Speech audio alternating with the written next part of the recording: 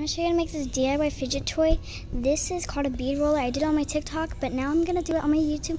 Make sure you like, subscribe, and turn on post notifications. And the supplies you're gonna need is pipe cleaners, scissors, and beads. Sorry that.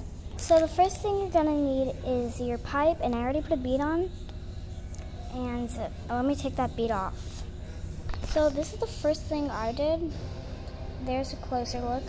I just tied it. Not like tied it, but I wrapped it up so the beads cannot fall off. Okay, now you're just gonna go put them the beads on. Like this.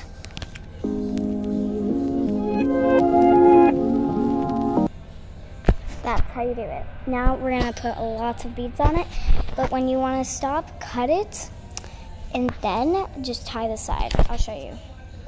Okay, see, this is my pattern, and now you're just gonna cut it, but leave a little space. So like, cut it right there. After you cut the pipe clean, now you're just gonna twist it, but leave a little space so you can move the beads around. Okay guys, so as you see, I did that.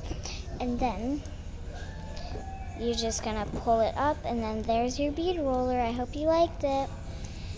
Um, So that was a tutorial of how to make a bead roller. I hope you guys loved this. Make sure you like, subscribe, and turn on post notifications so you get notified of every single video I do.